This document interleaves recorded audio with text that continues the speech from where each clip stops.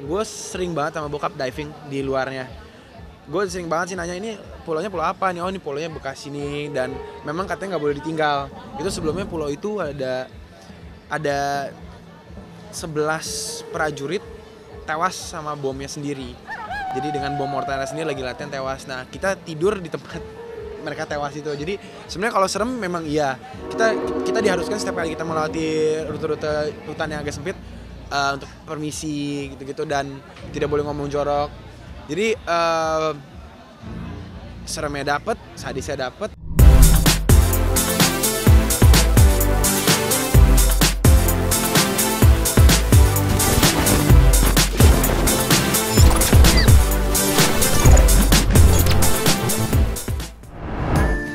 Halo halo halo Selebtubers, balik lagi di channel yang paling dan kekinian Selebtub TV Kali ini gue mengupdate berita terhits yang harus banget kalian kepoin. Gak lupa juga gue selalu doain kalian sehat selalu. Jangan lupa di subscribe ya, agar Mimin lebih semangat lagi untuk mengupload. Cerita horor memang selalu memiliki daya tarik tersendiri bagi setiap para pendengarnya.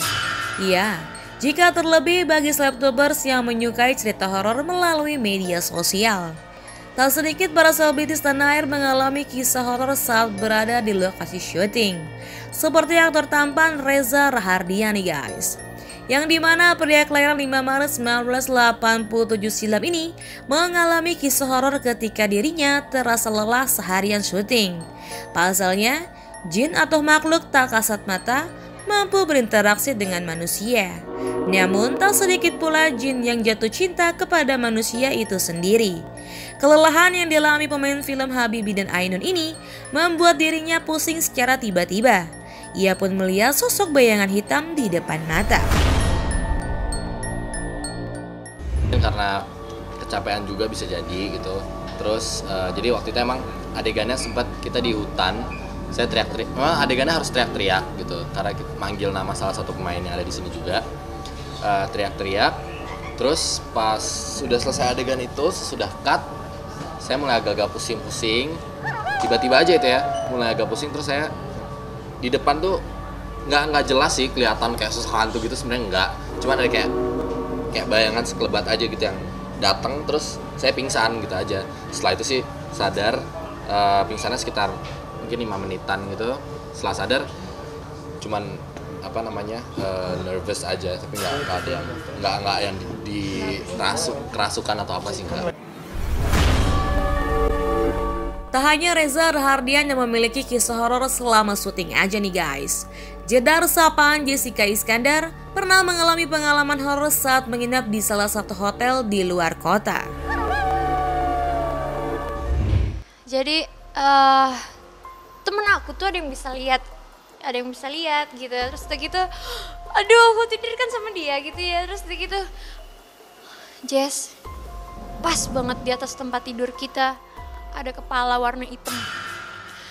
Biarin aja deh gue mau tidur. Terus udah gitu nggak lama lagi dia bilang gitu jangan lihat kanan ada perempuan putih banget di sebelah lo pas banget di sebelah lo mukanya di sebelah lo. Oh ya ya udah biarin aja deh. Aduh gue mau ke toilet nih. Jangan dulu di pintu ada gundurwo gitu. Terus gitu iya jadi hotel itu tuh ternyata baru jadi tapi uh, udah lama ditinggalin dalam keadaan belum jadi. Jadi baru jadi dari belum jadi lama gitu. Jadi banyak penunggunya terus udah gitu. Aduh gimana dong pinjem bantal aku tutupin sini gitu. Pokoknya akhirnya, akhirnya lama-lama baca doa baca doa tidur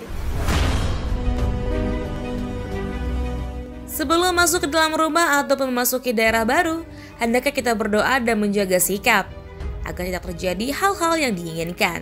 Sekian dulu videonya, kalau suka langsung aja di like, di subscribe, dan kalau suka videonya boleh banget di share. Bagi Slaptubers yang ingin idolanya kita bahas, boleh banget komen di kolom komentar. Sampai jumpa, bye-bye!